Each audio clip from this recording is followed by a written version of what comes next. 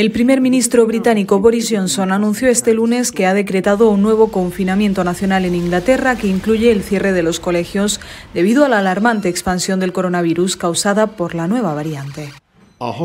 Los hospitales están bajo más presión que en ningún momento desde el comienzo de la pandemia. Johnson instó en su discurso a la nación a quedarse en casa salvo por algún motivo esencial.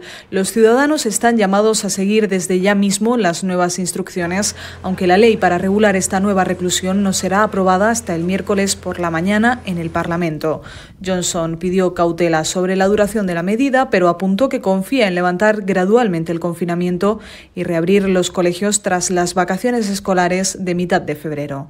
También para mediados de febrero espera que se haya administrado administrado la primera dosis de la vacuna a los cuatro grupos prioritarios en la campaña de inmunización, residentes y trabajadores de residencias mayores de 80 años, trabajadores del Servicio Público de Salud y la población con enfermedades preexistentes.